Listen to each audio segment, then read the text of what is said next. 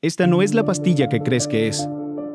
Porque lo que piensas que es un Percocet o un Oxy puede ser un opioide ilegal mezclado con fentanilo, y las muertes por fentanilo son tres veces más que hace 10 años. Tan solo dos granos pueden matar a un hombre adulto así.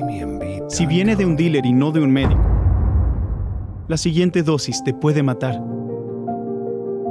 ¿Estás a salvo del fentanilo? Descubre en san diego opioidproject.org